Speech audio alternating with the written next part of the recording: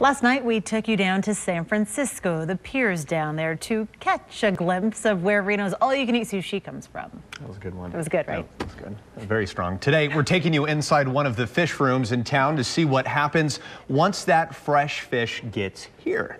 Ryan Canaday watched all of this fast-paced action. He joins us live in studio with a closer look at this story you'll see only on Channel 2. All right, Ryan, what else can you tell us here? Well, you know, this is the fun stuff to watch, Landon, especially if you like the smell of fish. The team over at Sierra Meat and Seafood handles fresh fish from around the world every single day. When a new delivery comes in, the team works quickly to get it right back out the road and into our local restaurants. Here's a look at the, what the work that they do each day.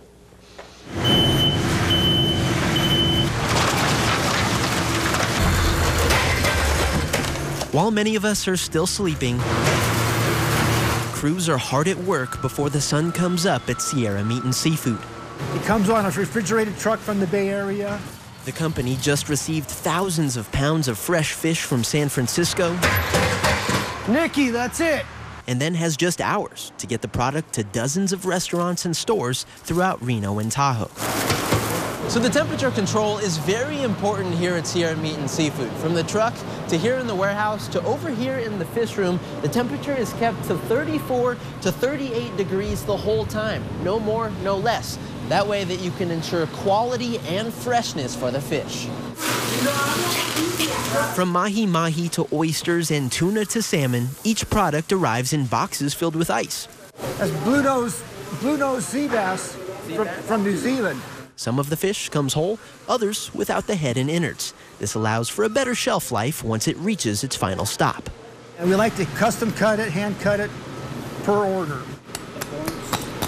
Some items are sliced into loins that weigh between 10 to 30 pounds. The size depends on the request made by each sushi restaurant.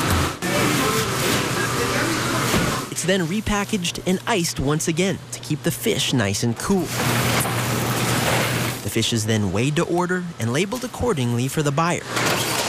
Once everything is resealed and placed back onto the pallets, it's then ready for shipment. This fish will be in a restaurant this evening. On this particular morning, the fish team pulled more than 150 orders in less than two hours. And believe it or not, that's considered an easy morning because of the time of the year.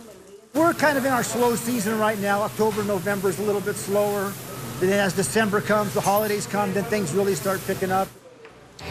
Now, if you missed last night's story in our Pier to Plate reports, you can find that story posted on our website, ktvn.com. Tomorrow, we're going to finish things off here when we show you the final stop that these fish make on their journey. That's inside the local sushi restaurants, where you get to enjoy the seafood firsthand. Covering the story live in the studio, Ryan Canaday, Channel 2 News. Mm. I've always wondered where all this fish comes from, living in the desert, you know? Yeah, so many people have actually come up to me after seeing Ryan's story yesterday, at, wondering the same exact thing. So yeah. it's kind of cool that we're finally getting an answer here. It's super fresh, apparently. All yeah, right, good yeah. work, Ryan. Thank you.